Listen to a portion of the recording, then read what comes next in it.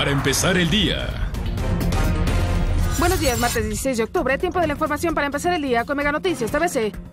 Agentes de la Fiscalía de Jalisco localizaron fosas con varios cuerpos en la colonia Agua Escondida, municipio de Tonalá. Se trata de tres fosas. En una hallaron al menos 10 cuerpos y faltan dos por revisar. También en Veracruz fue localizada una nueva fosa clandestina en Colinas de Santa Fe, área donde han aparecido más de 160 fosas clandestinas con restos humanos.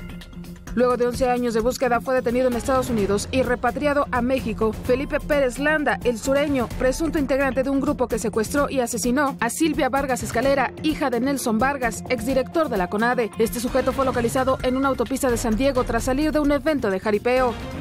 La Procuraduría de Tamaulipas detuvo a Eric Leonel N., alias El Diablo, presunto homicida del activista Miriam Elizabeth Rodríguez Martínez, en mayo de 2015 en San Fernando. Con él suman tres detenidos por este crimen. El Diablo fue arrestado en Jalisco gracias a la coordinación entre autoridades de ambas entidades. Olga Sánchez Cordero, próxima secretaria de Gobernación, indicó que a partir del próximo primero de diciembre se dará a conocer el listado de las personas que podrían recibir la amnistía planteada para presos políticos, al que podrían agregar a detenidos por vandalismo y por daños en propiedad ajena. Los casos serán recibidos antes de que Andrés Manuel López Obrador tome posesión.